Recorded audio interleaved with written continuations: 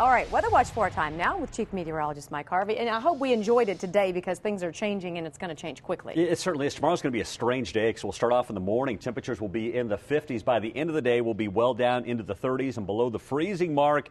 Rain's going to change to snow, and those winds going to kick up as well. Here's your live pinpoint Doppler radar, and a little closer inspection shows you that uh, we have just a few light rain showers that are moving across the area, down around Greensburg, and also up towards Youngstown. This light rain is going to move up towards the uh, north, and later tonight we're going to have a chance of seeing a little bit more of some light rain that will be moving through. So it looked like earlier today we had some sunshine this morning, a little bit, then the clouds moved in this afternoon, and we're still in the cloudy skies, and of course going to stay that way. And currently 51 degrees, a very mild evening. Typical High temperature this time of year is 41 degrees, and we made it up to 52. And this morning we started off at 35 degrees. So here's what's happening out there right now. You can see this band of rain showers that's coming in with a, a stationary front that will continue to push towards us as we go through the uh, evening. And a cold front, you can see back there, that's going to be moving in as we head into tomorrow. And this is what we're anticipating as we get into tomorrow about noontime. Low pressure will be moving across the region. Cold front will not have transited the area yet, so we'll still be in the warm air up till about noontime.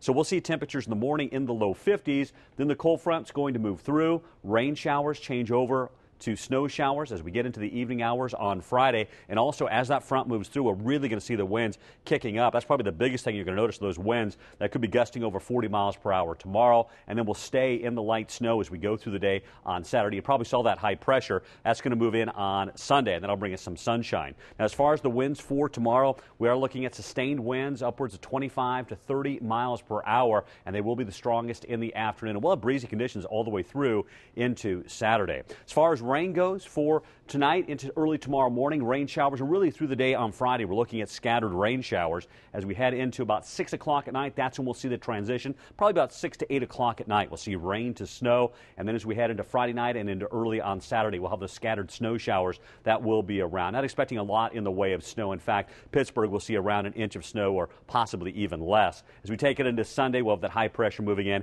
and that is going to make for a nice day with plenty of sunshine. So around Pittsburgh, up to an inch of snow. Out east and up north, we're looking about one to two inches of snow. And then down into Garrett County in the southern ridges, we are looking at about two to four inches of snow potential Friday night through the day on Saturday. So for tonight into tomorrow, we're looking at a temperature of 52 degrees. The high will happen around noontime. Winds will kick up with gusts up to and exceeding 40 miles per hour. Then we get into the nighttime hours, evening and nighttime hours. Temperatures will drop to 38 degrees as we get towards uh, dinner time and down to 32 by the time we get past dinner tomorrow night. So as we head into Saturday, 35 degrees for your high temperature with light snow. And then as we go into Sunday, a beautiful day with a high temperature of 40 degrees.